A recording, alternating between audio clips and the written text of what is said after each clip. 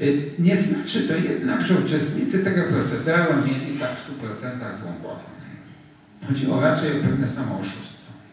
Ja się domyślam, że oni wierzyli w pożytek z ekspansji kredytowej, bo teorie Keynesa głoszą bowiem bardzo wygodną dla państw banków tezę, że wydawanie jest motorem rozwoju gospodarczego.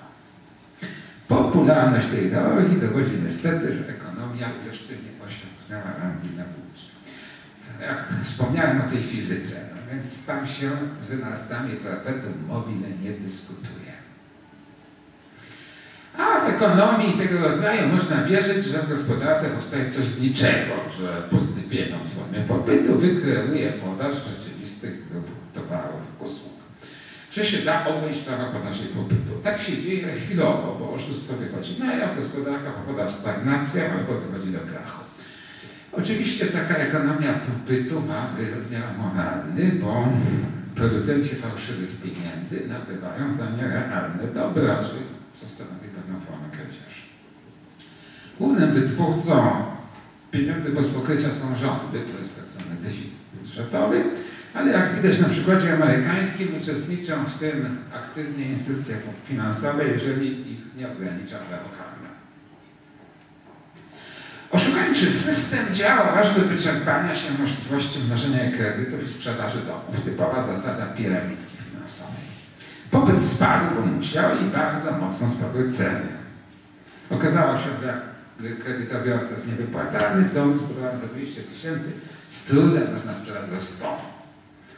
Całe te aktywa okazały się oszustwem księgowym, a masowa utrata ich wartości zagroziła nie także całemu normalnemu biznesowi, bo kwota no, tak rzędu 2000 miliardów dolarów znikła i rujnując wszelkie kalkulacje i systemy kontaktów z No, kto na tym straci? Dyrektorzy banków raczej nie. Ci, którzy inwestowali w oszukańcze papiery i ci, co oszczędzali w bankach. No ta okoliczność, przynajmniej z chaosem na rynku niewątpliwym, skłoniła rząd amerykański do udzielenia bankrutom gigantycznej pomocy wykupienia ich właściwie. Koszty tego wykupu, zresztą rozpoczętego wcześniej, bo tam orientowano się w tym, co się zdarza, te projekty wykupu już się pojawiły w cztery poprzednio, to są dwukrotnie większe niż wszystkich wielkich inwestycji rządu amerykańskiego, począwszy od tam zakupienia Luizjany, aż po mm, wojny Wietnamie i Iraku. Jednakże wykupując tych bankrutów, rząd na miejsce pozornych pieniędzy wpłacił prawdziwe. Ale skąd je ma? No głównie z podatków. Innymi słowy, pieniędzy nie przybyło, nie mogło, ale zabiera się je w głowie obywatelów i po trochę. Przypuszczam, że to będzie docelowo za 20 tysięcy dolarów na rodzinę. Po co? Żeby uratować spekulantów i ofiary. W skali gospodarki oczywiście niczego nie przybywa od tego, a nawet może nastąpić pogorszenie, bo pieniądze są zabierane tym, którzy je lepiej wykorzystają. Tak, wykorzystaliby. Efekty kreacji są i będą machne. Natomiast rząd popełnia w ten sposób gigantyczną kradzież, zabierając pracowitym oszczędnym, ratując nieudolnych, rozrzutnych pechowych. Rząd amerykański u nas się nie kojarzy ze złodziejstwem, bo mamy taką legendę Ameryki, ale przypomnę wybryk Roosevelta. Nakazał on obywatelom w ramach walki z kryzysem od, e, sprzedać państwu złoto, jakie posiadali, poza biżuterią. W Ameryce nie wolno mieć e, złotej świnki. Mm, kształtki złota i złote monety zostały wykupione po 20 dolarów za uncję, zmagazynowane w Dakocie Nox, po czym Roosevelt ustawił cenę złota na 35 dolarów. No tak jest, jak się ma konta, to można taki, taki handel uprawiać.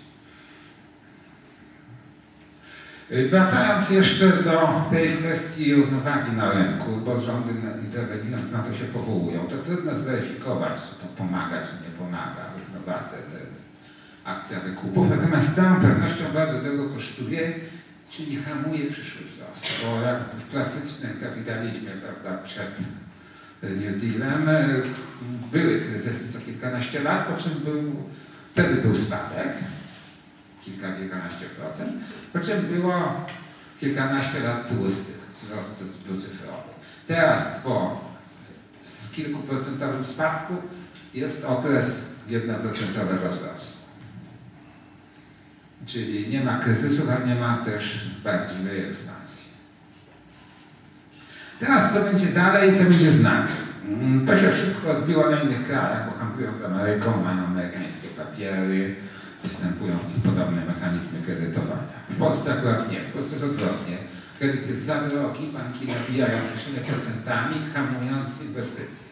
Także teraz sytuacja wymusiła na Radzie Polityki Pieniężnej obniżenie z powrotem stóp, yy, które pod wpływem lobby bankowego podnieśli i to oczywiście jest ulga. Tylko dla polski rząd jeszcze, może dlatego, że nie ma pieniędzy na ich ładowanie bankrutu, więc ich bankrutów nie ładuje, tylko ogłasza program oszczędnościowy. Go zrealizuje, czy nie, ale akurat to, pod tym względem postępowanie jest mniej więcej prawidłowe. Gorzej, że po cichu coraz to jakiś podatek się pojawia albo rośnie. W każdym razie rządy zachodnie reagują generalnie jak amerykańskie, to znaczy dają dziurę kosztem podatnika, co jest krótkowzroczne ekonomicznie i skandaliczne moralnie. Mimo pierwsze, dzisiaj z 1 kwietnia to jednak naprawdę rządy Anglicy chcą wydrukować 150 miliardów funtów i wpuścić je na rynek. Przed wojną to któryś z humorystów znanych, bodajże Słonimski, zaproponował, żeby zaradzić biedzie w ten sposób, że każdemu rozda po 100 złotych. No, ale wtedy wszyscy wiedzieli, że to dowcip. Teraz co z tym, jakie są skutki tego kryzysu? Zasadniczo zastój, który jest nasilony przez zabór pieniędzy podatnika przez państwa, które rzekomo ratują gospodarkę. Drugi efekt, zbliżony, ale bardziej długofalowy, to jest narastanie interwencjonizmu państwowego. Czyli ta zasada okradania podatnika się uwiecznia i utrwala. Mamy to na co dzień bezwstydną propagandę tego procederu, bo wychwalane ją gazety rządy pomagające gospodarce, a nikt prawie nie pyta, z czyjej kieszeni ta pomoc idzie. Winę za kryzys zwalnia, zwala się w sposób zupełnie oszukańczy na wolny rynek. Ludzi w to wierzy, gdyż przedtem mówiono, że na Zachodzie panuje podwarunkowy kapitalizm. Faktycznie mamy raczej ustrój biurokratyczny z ogromnym sektorem publicznym, który wchłania od jednej trzeciej do dwóch trzecich produktu narodowego, w Polsce połowę. Z tym się wiąże interwencjonizm i ograniczenie wolności. Dla biurokratów kryzys to świetna, wymarzona wręcz okazja do trudno odwracalnego poszerzenia swojej władzy kosztem skutecznie pracujących obywateli.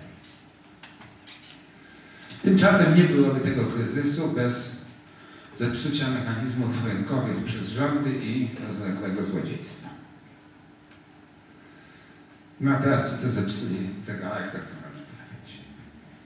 ja tu zaznaczam jeszcze, pozostając na tej ekonomicznej płaszczyźnie, że pewne efekty pozytywne jednak kryzysu jednak są, choć pomniejsze.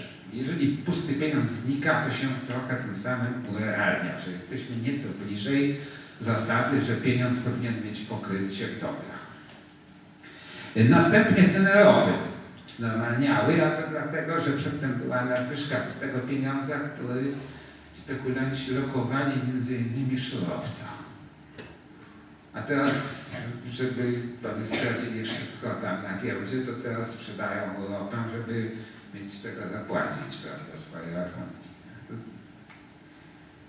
Dla ruskich to gorzej. Dlatego zresztą skąd ta cała awantura gazu. Rosjanie dochody Rosji z ropy strasznie zmalały i oni są pod, bo oni są pod murem. To, to, to oni oczywiście wymachują szaberką, naprawdę grozi im poważne, że Narodowe Banki są na granicy bankructwa z powodu tego, że ropa spadła też sobie 100 dolarów.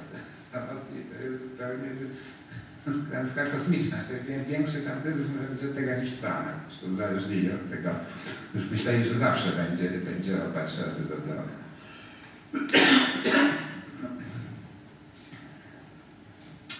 Jeszcze z pozytywów kryzysu to wspomnę to, że trochę ludzie zaczęli się interesować regułami ekonomii. Mimo propagandy zbawionej państwa zaczynają się pytać, czy to jest okazja, żeby do rzeczy